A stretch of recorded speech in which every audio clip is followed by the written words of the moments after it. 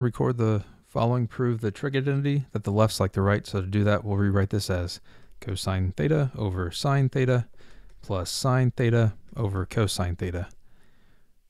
So we can get a common denominator here. When we do that, we end up with cosine squared theta because we multiply the bottom here by sine theta, cosine theta plus sine squared theta, and then we get sine theta, cosine theta. Cosine squared theta plus sine squared theta.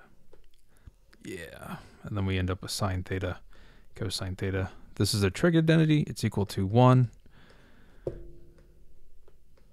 And if you look at this, you can rewrite this as 1 over sine theta cosine theta.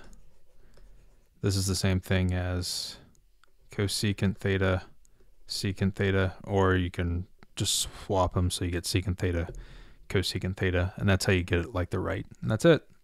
Alrighty, I hope this helped you out. I appreciate you watching. I will see you next time.